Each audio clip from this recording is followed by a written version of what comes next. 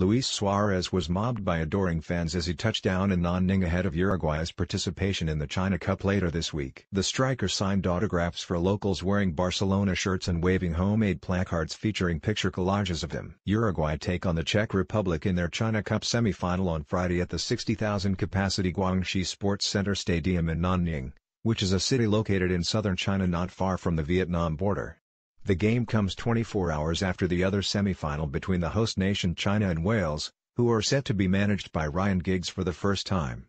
Suarez traveled to the tournament from Barcelona on Tuesday and Wednesday, having sat out their weekend win over Athletic Bilbao because of suspension.